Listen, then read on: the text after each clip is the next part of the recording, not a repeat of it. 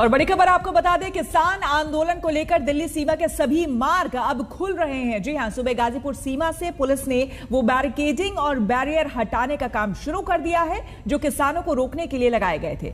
भारी भरकम और मज़बूत दीवारों को हटाने के लिए जेसीबी और क्रेन जैसी मशीनें लगाई गई हैं। सुप्रीम कोर्ट की सख्ती के बाद किसान संगठनों ने गाजीपुर पर पहले ही अपने लगाए रोड़े हटा दिए और अब टिकरी बॉर्डर पर भी पुलिस ने सारे बैरिकेड हटा दिए। बहादुरगढ़ जाने वाली ये सड़क अब खोल दी जाएगी। थोड़ा सा भाई थोड़ा सा। ये दो तस्वीरें आप देख रहे हैं अपने टेलीविज़न स्क्रीन पर। आप देख सकते हैं कि किस तरह से क्रेन की मदद से जो सीमेंटेड बैरिकेड्स हैं वो हटाए जा रहे हैं और साथ ही साथ दूसरी तरफ़ जो कटीले तार हैं वो आप देख सकते हैं कि किस तरह से उनको भी समेटा जा रहा है। सुप्रीम कोर्ट ने दरअसल एक आदेश में ये कहा था कि ये किसी को हक नहीं है कि लंबे समय तक रास्ता जाम किया जाए ब्लॉक किया जाए जिसके बाद ये कार्रवाई हुई। हमारे साथ बात करने के लिए राकेश टिकैत जी मौजूद हैं किसान नेता हैं। कब से आप यहाँ पर बैठे हुए हैं सर? कितने महीने हो गए? ग्यारह महीने। ग्यारह महीने हो गए। पुलिस बैरिकेड हटा रही है। हाँ तो ठीक है हटाने चाहिए। तो आ, अब क्या रास्ता खुलने जाएँगे? दिल्ली जाएँगे। हाँ अपनी फ़सल बेच सकेंगे मंगाओगे आज कहेंगे हम भी सलाह करेंगे संयुक्त मोर्चे में भाई रास्ते खुल गए अब अपना दिल्ली की तरफ़ कुछ अपनी फ़सल बेचेंगे पार्लियामेंट में बेचेंगे फ़सल। अच्छा ये उम्मीद की जा रही है कि ये रास्ता खुल जाएगा? रास्ते तो खुलने चाहिए। तो जो आप लोग रास्ते तो खुलने चाहिए ना। जब रास्ते खुल जाएँगे जब बता देंगे। तो वो पुलिस बैरिकेड है।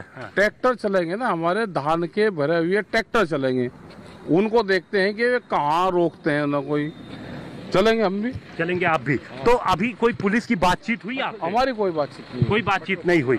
ये कहा गया था जैसे सुप्रीम कोर्ट की ओर से कि अनंत काल तक सड़क पे रास्ता नहीं रोका जा सकता है। बता देंगे दे देंगे जवाब। हाँ। फ़सल भी तो बेच सके, प्रधानमंत्री ने कहा कि अपनी फ़सल कहीं बेच लो।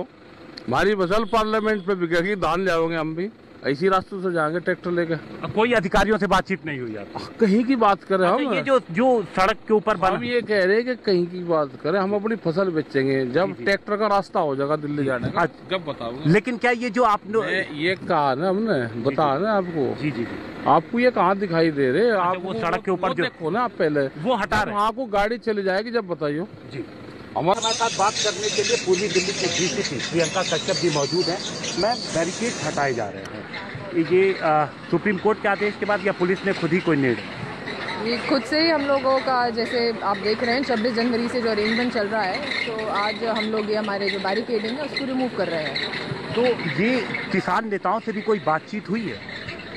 आ, हम लोगों को जैसे आदेश आए we gone ahead with that रास्ता खुलने की कोई उम्मीद है? हाँ बिल्कुल। रास्ता खुलने की बिल्कुल उम्मीद है इसीलिए हम लोग बैरिकेड्स रिमूव कर रहे हैं। गाजियाबाद पुलिस से भी बातचीत हुई है? कोऑर्डिनेशन में है। कोऑर्डिनेशन तो आप देख सकते हैं यहाँ पर दिल्ली पुलिस ने अपने बैरिकेड्स हटाने शुरू कर दिए हैं। और पुलिस का ये कहना है कि रास्ता खुलने की पूरी उम्मीद है। हिमांशु मिश्रा हमारे साथ हमारे सहयोगी इस वक्त जुड़ चुके हैं। गाजीपुर बॉर्डर पर मौजूद है। हिमांशु, यानी देखिए, राकेश टिकैत को हमने सुना, वो ये कह रहे हैं कि रास्ता ज़रूर खुलना चाहिए, लेकिन वो कह रहे हैं वो आगे जाएँगे, पार्लियामेंट में बेचेंगे अपनी फ़सल। जी, बिल्कुल। देखिए, अगर हम बात करें संशय की तो अभी भी वो स्थिति बरकरार है। क्योंकि हम यहाँ की आपको तस्वीरें दिखाते हैं, जो पुलिस ने कई लेयर की यहाँ से। आप देखिए, जहाँ पर हम इस वक्त खड़े हैं, यहीं से बैरिकेटिंग शुरू थी और आगे आप देखिए, सामने जहाँ तक पुलिस ऑफिसर्स नज़र आ रहे हैं, वहाँ तक बैरिकेटिंग की, जिसमें लोहे की बैरिकेटिंग कंटीले, तार, ये सब कुछ था। अब ये धीरे धीरे यहाँ से देखिए हट गया है। अब यहाँ पर तीन लेयर के, ये जो आपको सीमेंट के ब्लॉक नज़र आ रहे हैं, उसके बाद लोहे की बैरिकेटिंग और कंटीले, तार।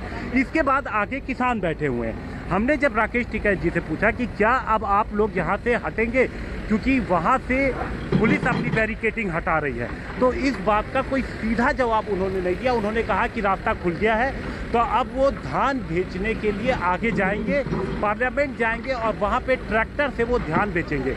और अब देखते हैं कि पुलिस फिर आगे कहाँ रोकती है।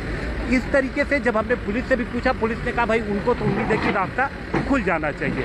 लेकिन संशय भी बरकरार है क्योंकि पुलिस ने अपनी ओर से तो रास्ता खोल दिया है, लेकिन इसके आगे थोड़ी दूरी पर किसानों के तमाम टेंट्स लगे हुए हैं और वो हटेंगे या नहीं हटेंगे, ये स्थिति अभी साफ़ नहीं है। श्वेता। बिल्कुल। बहुत बहुत शुक्रिया आपका हिमांशु। तमाम जानकारी के लिए आगे भी आपसे हम जानकारी लेते रहेंगे। फ़िलहाल हम रुकेंगे यहाँ पर एक छोटे से ब्रेक के लिए। बने रहे हमारे साथ। देखते रहिए आज तक।